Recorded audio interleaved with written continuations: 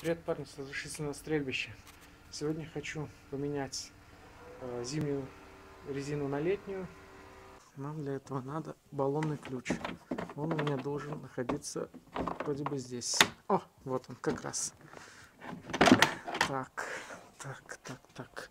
Что-то теперь делать.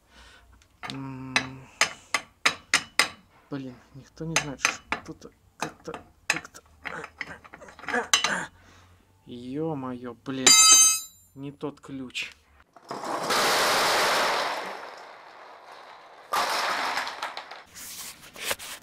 Привет, парни, с разрешительного стрельбища. В сегодняшнем видео хочу вам рассказать о ощущениях э, езды на зимней резине. Snowcross стояла сзади шиповка, и Snowmax стояла спереди уже два сезона. Она меня очень порадовала. В этом году просто не получил в зимы, ну, не получилось купить ее.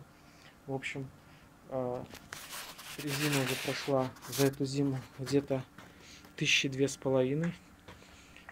Вот ее шипы, все на месте. Единственное, вот если, не знаю, сфокусируется, вот здесь вот оно почему-то у всех на шипах вот разбито. Это вот за одну зиму. Вот такие вот как бы сколы, ну не знаю. Они вот смотри, один потерялся. Нету. Ну, всякое бывает. Основ... Остальные-то на месте. Ну, тут я уже на ней езжу летом 16 градусов. Вот только сейчас у нас неделю как 16 градусов становилась погода. Э, и без заснеженной погоды я уже на ней проехал где-то километров 600 точно. Вот. Снял я передние колеса, одно. Там у меня стоял э, Snow Max кардиант. Вот вот смотрите, что получается. Этой резине уже второй сезон, вторую зиму она ездит. Так, сейчас поближе попробуем фокус словить. Не знаю, ловит, не ловит. О, так вот что-то. Вообще тоже замечательная резина, хорошо тормозит. Э, говорят, немного шумновато. Ну, если честно, я этого особо не заметил. У обоих кардиантов идет э, усиленный обод. Или как это называется? Вроде бы усиленный обод, да. Вот. Видим. Снова Макс. Э, мне ее посоветовал мой брат сбурановичий. Он на ней вообще херячит и зимой, и летом.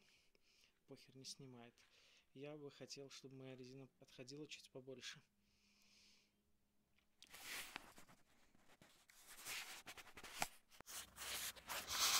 Так, смотрите, что я хочу показать. Новая резина старая. Вот два колеса. Мы опускаемся, опускаемся, опускаемся. Сука, так не видно ни хера. Как вам это показать? Ну вот как бы вот примерно вот настолько это колесо, да, вот ниже, за счет того, что протектор стащился. Все, нашел способ, как вам показать разницу в высоте колес. Вот смотрите, опа, Видите? О, вообще шикарно видно. Хотя колеса стоят ровно. И здесь зазор появляется от прямой палки.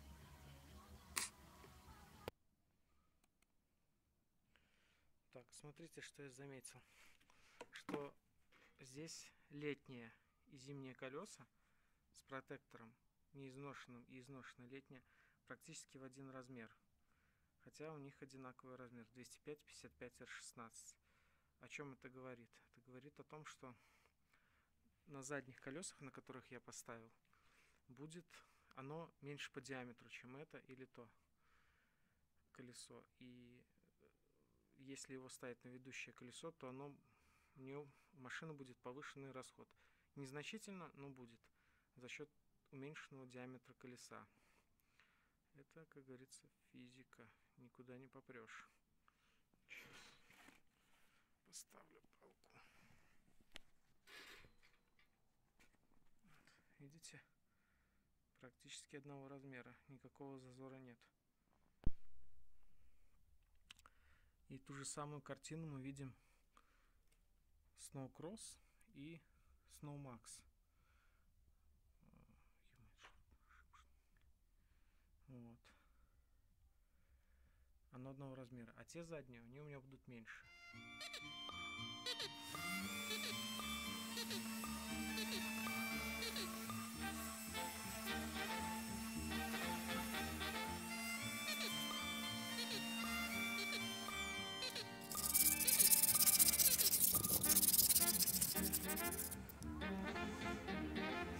Ну, в общем, вот что получилось. Это обязательно нужно делать, иначе диск будет неровно прилегать. Сейчас еще тут вот затереть надо полностью. И потом люди не понимают, от чего у них биение. Ну, в общем, это одна из причин, почему бьет колеса. Да, диски надо протачивать, вообще их надо менять по-хорошему, говорят умные люди, но я их буду еще протачивать. Эти колодки недавно менял, на это дело я тогда подзабил, но что поделать, бюджет ограничен. Обойдемся в этом году проточкой. С колесами та же песня.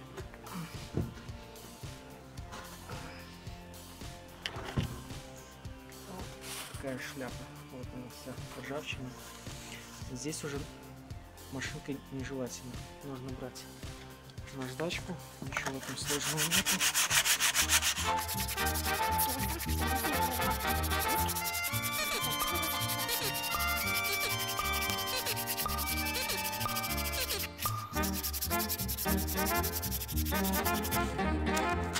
Опа.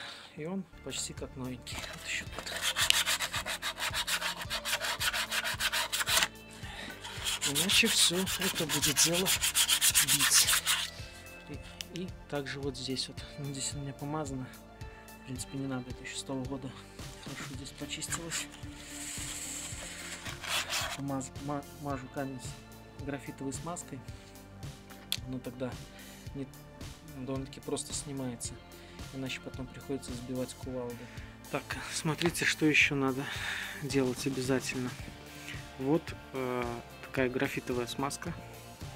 Она у меня уже там на издыхании, ну еще есть как раз. Обязательно нужно смазывать болты. Чистить их от грязи. Вот такой щеткой. Она, конечно, у меня уже повидала всего. Где-то есть новая, но лень искать ее в гараже. А, также все болты смазывайте и смазывайте вот эту часть. А, тогда будет проще сбивать э, диск э, при следующей замене колеса. Ну или мало ли где-то случайно нужно аварийно остановиться, там пробили колесо или еще что-то. Бывает, что очень закрывает, особенно перед зимой. Летом еще не так, перед зимой это нужно делать обязательно.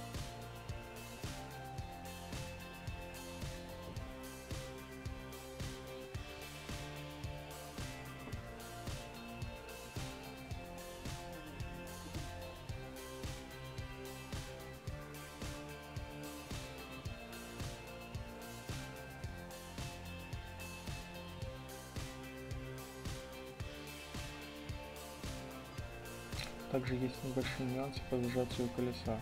После того, как колесо опущено с домкрата, зажимать нужно звездочкой через один. Желательно делать это без особого фанатизма. А также нужно поджать первый болт, с которого начинали. Он иногда бывает отпускается. Ну что, парни, пришло время прощаться. Надеюсь, увидимся на различных стрельбище и поехали!